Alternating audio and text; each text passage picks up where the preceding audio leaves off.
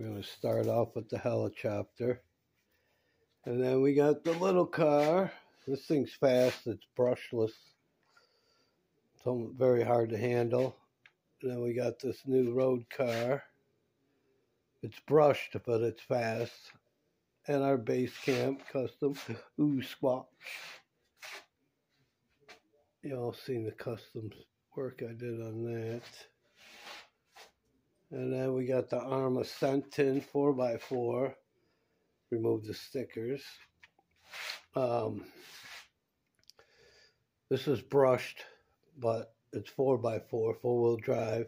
We're going to put the brushless system in it. Then obviously I got my DR10. Watch out, don't scratch the paint there, bastard. And then we got the Losi. This is two-wheel drive, but it's brushless. This is a used truck we got. Can't really see, but it's got bald tires. Tore the shit out of the tires.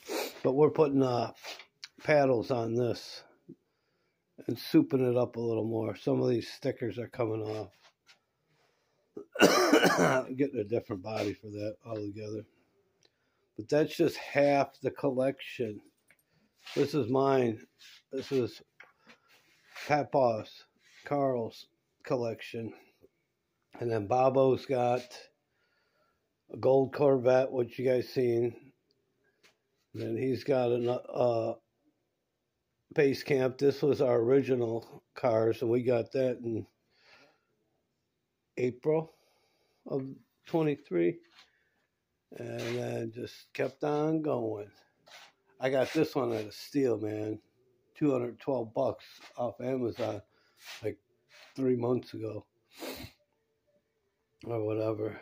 And then uh, this we found at a hobby store near us.